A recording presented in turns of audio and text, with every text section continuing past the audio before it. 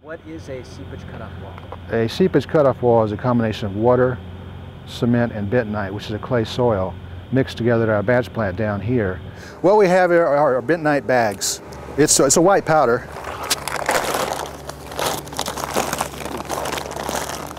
That's what it looks like. It's just a clay material. And this is our mixing area where we create the slurry. The tank to your right is our water tank where we import water from an adjacent fire hydrant. The tank I'm standing on is where we mix the bentonite with the water.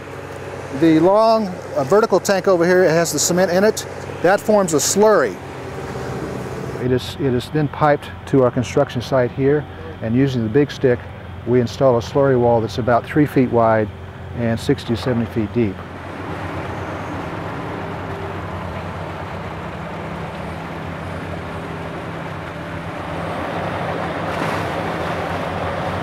Uh, what that slurry wall does is it inhibits through seepage, which is water going through the levee, and under seepage, water going underneath the levee during a flood event.